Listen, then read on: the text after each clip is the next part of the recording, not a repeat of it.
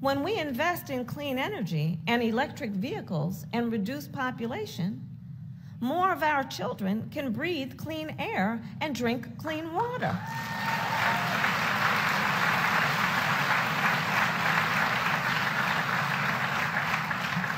Wait a minute. Wait, wait a minute. Hold, wait. First of all, you're not gonna speed past that like you didn't just say what you just said. And reduce population, and reduce population, and reduce population